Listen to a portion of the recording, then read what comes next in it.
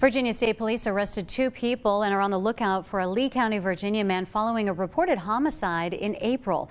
VSP, with the help of the Suwannee County Sheriff's Office in Florida, arrested Amos Hall of Rose Hill, Virginia, and Christopher Holman of White Springs, Florida. State Police still looking for Virginia Redden of Ewing, Virginia. Charges stem from an investigation into the death of Jerry Wheat, whose body was found burned in a wooded area near ATV trails along Valley Springs Road.